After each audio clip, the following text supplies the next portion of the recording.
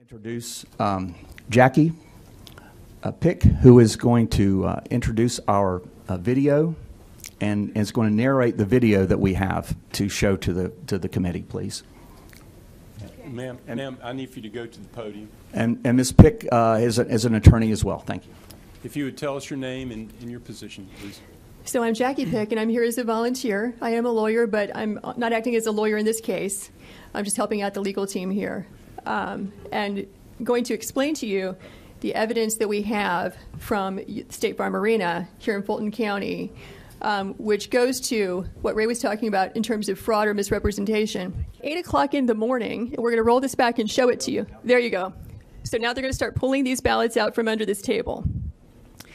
This table, the black one, was placed there by the lady with the blonde braids at about 8:22 a.m. in the morning. So she put that table there.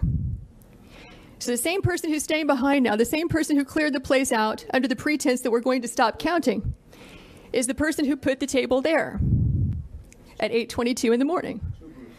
Yeah, I saw four suitcases come out from underneath the table.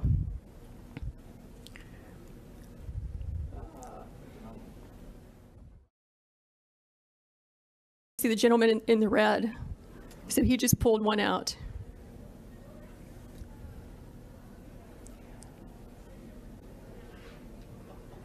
So wh- what are these ballots doing there, separate from all the other ballots? And why are they only counting them whenever the place is cleared out with no witnesses? Um, thank you for being with us. We heard from the Secretary of State's office earlier, just a couple hours ago, that um, they've investigated this repeatedly, that they had a monitor on site the entire time. And frankly, this has been debunked for weeks by our Secretary of State's office. I doubt he's What seen the video. evidence- Then I think the courts will probably be able to handle this once you present your evidence to them. As I'm aware, there have been about 40 lawsuits dismissed already. And according to the law of the state of Georgia, we do not have the power to submit alternate electors. The provision in the law is quite clear at, tw- at 21-501F. Is there a question? Sen- Senator, uh, ma- ma- Senator, we'll ask questions. We'll have a time for statements at the conclusion if we. Yeah, my question is, what, uh, the question is, since this has been debunked repeatedly, what evidence can you give to us that counters what our elections officials have presented us with only an hour ago? You just saw it. Your officials need to watch the video. What about the fact that they say that they had a monitor there the entire time?